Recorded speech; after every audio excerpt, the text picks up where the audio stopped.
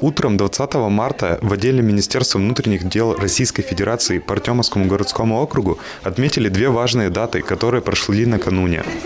15 марта отметил юбилей бывший начальник отдела, полковник милиции в отставке Исаков Владимир Геннадьевич. Я очень рада вас поздравить, Владимир Геннадьевич, с днем рождения. Очень приятно вас видеть, я всегда рада нашим встречам. Спасибо вам за то, что вы поддерживаете связь с нашим коллективом, оказываете спонсорскую помощь нашему отделу. Значит, я проработала с Владимиром Геннадьевичем очень, как только он пришел, я уже работала, и под его руководством 15, почти 16 лет. Значит, он был начальником отдела. По его приказу я стала его заместителем по кадрам. И, в общем-то, даже переработала. Через два года ушла на пенсию после него, и, в общем-то, до сих пор, как видите, нахожусь на боевом посту. Спасибо вам за все, Владимир Геннадьевич. Владимир Геннадьевич начал свою работу в органах в 1976 году в отделе внутренних дел города Екатеринбурга, откуда в 1980 был переведен в Артемовский городской округ участковым уполномоченным.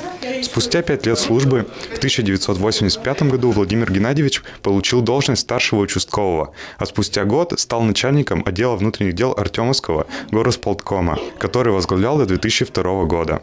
За все 16 лет службы Владимир Геннадьевич проявил добросовестное отношение к выполнению обязанностей, большой личный вклад в совершенствование деятельности ОВД в Артемовском и был удостоен поздравлений и памятных подарков.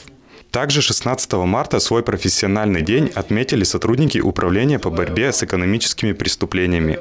В состав отдела входят трое служащих. Приказываю объявить благодарность старшему лейтенанту полиции Корюгину Максиму Викторовичу, оперуполномоченному группы по экономической безопасности и противодействию коррупции отдела Министерства внутренних дел Российской Федерации по Артемовскому району, старшему лейтенанту полиции Мезенцеву Андрею Александровичу, оперуполномоченному группы по экономической безопасности и противодействию коррупции отдела Министерства внутренних дел Российской Федерации по Артемовскому району.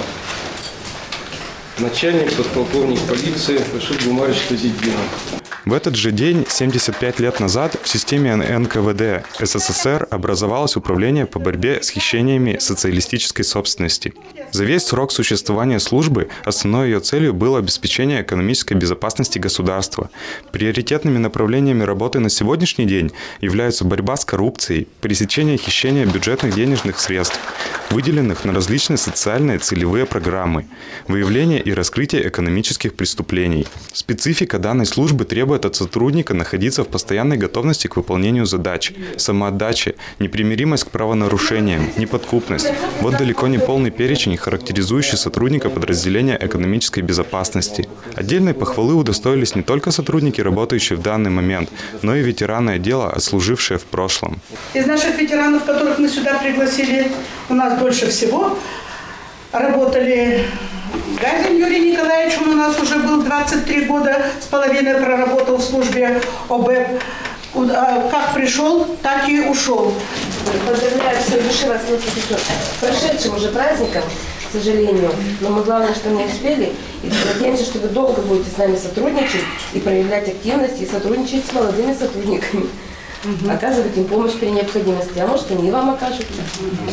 Спасибо всем ветеранам служб за их былые заслуги и за помощь в выявлении и раскрытии текущих преступлений. Действующим сотрудникам успехов в оперативно-служебной деятельности и оперской удачи.